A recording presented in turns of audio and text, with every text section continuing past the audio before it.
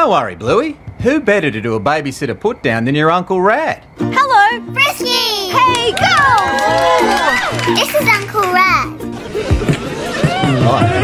Hi. Yeah, boy. Frisky, have you met Bandit's brother Radley before? Um, yeah. Didn't you fall in the pool at the wedding? Probably.